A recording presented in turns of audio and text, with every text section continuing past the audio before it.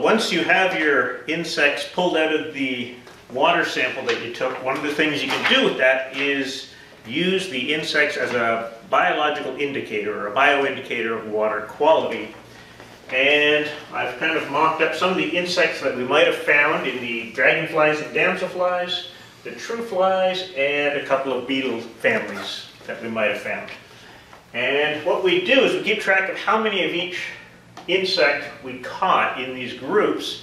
So if we caught one of these Aeshnidae, those are the darners, uh, we look at their tolerance. You can look up the tolerance value in some sort of a publication. Purdue has one publication that you can use, but you look up the tolerance, and this tolerance is their tolerance to pollution. If they are more tolerant, they can exist in more polluted waters. Um, and you want to get the numbers and the tolerance of everything that you found. So if we found one of those six and one of those damselflies, three chironomids, those are the little red bloodworms, three predaceous diving beetles, and one haliplid.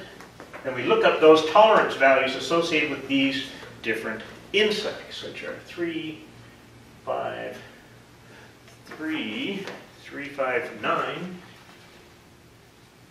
eight, five, and seven. So for example, for the Dytiscid, the predaceous diving beetles, we caught three individuals. Their pollution to, tolerance to pollution is a five, and so we write five. And we just multiplied those out because we wanted an average. So 1 times 3 is 3, 6, 5 is 30, 1 times 9, 24, 15, and 7.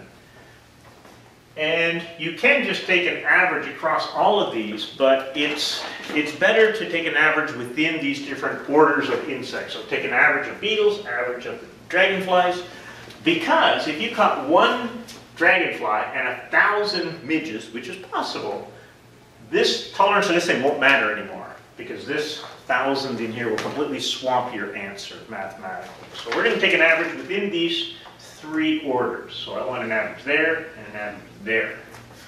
Uh, the average of these, we caught eight individuals, 42. I'm cheating 5.25. So that is the average tolerance of all of these damselflies and dragonflies. The average tolerance of our true flies is going to be 8. And the average of our beetles, the predaceous diving, and the haliplids is going to be 5.5. So that is the average tolerance of the beetles that we caught. And then we take an average of all of these averages within orders for 6.25. So six and a quarter is our average tolerance to pollution of all the critters that we found in that sample. And you can look at the scale, which is right here, and 6.25 represents fairly poor.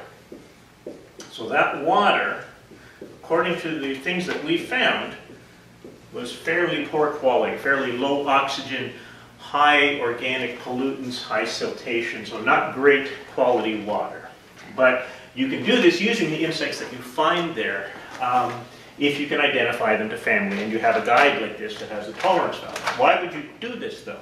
Well, if you went out and just measured it with a probe, you can get those same measurements, the water quality, the amount of oxygen, but that's just a snapshot in time. And if that's what you need, that's great. But what the insects do, because they're living there constantly, is this gives you an integrated view of water quality over the past season or the past year without sampling it time and time again over the past year. Because the insects have been there, say, for an entire year over the winter, this gives you a, a, much larger time scale in terms of that water quality, which is why you might want to use insects as a biological indicator.